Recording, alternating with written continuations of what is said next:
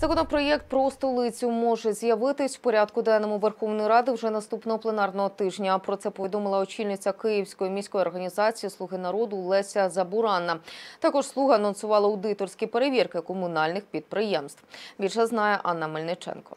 Минулого року представники партії Слуга народу запустили у розробку проєктну документацію для будівництва сховища на полігоні Лелів, куди вивезуть відходи з заводу Радикал, та проголосували за спрямування 140 мільйонів гривень на будівництво центру для безпритульних тварин. А цього року слуги планують аудиторські перевірки столичних комунальних підприємств. Ми залучаємо безпосередньо відповідні органи, які відповідають. Я згадувала про державну аудиторську службу для того, щоб надати економічне обґрунтування необхідності підвищення тарифів на транспорт, щоб зрозуміти, як формуються тарифи на тепло. Ще за словами слуг, минулого року вони активно боролися з мафами. Тобто ми пишемо припис. Якщо на протязі трьох діб ми не отримуємо е, ніяких документів, то ми його демонтуємо, і це, ця споруда вона пряміком на штрафмайданчик, і там вже е, чекає на свою долю, як то кажуть. Народний депутат Верховної Ради Роман Грищук вважає, що цього року слуги народу повинні ухвалити законопроєкт про Київ. Кличко обраний киянами мер Києва, і він несе повну відповідальність за те, що відбувається в місті Києві.